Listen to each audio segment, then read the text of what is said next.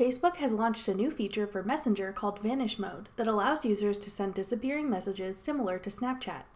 I'm Jessica from TechBoomers.com, and in this video, I'll be showing you how to use Messenger Vanish Mode.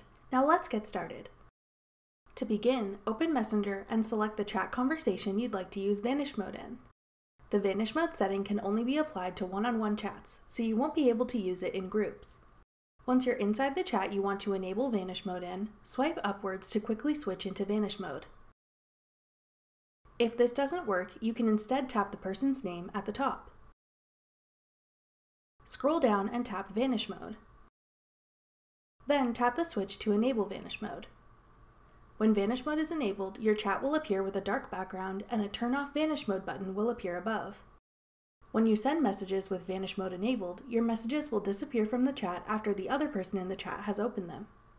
Like Snapchat, you'll be notified if someone takes a screenshot of the conversation while Vanish Mode is enabled.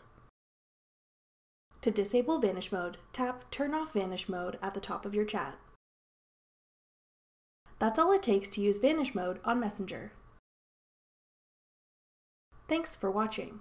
If you found this video helpful, we'd love it if you'd hit the thumbs up button below and subscribe to our channel. We put out great new tech tutorials like this one every week.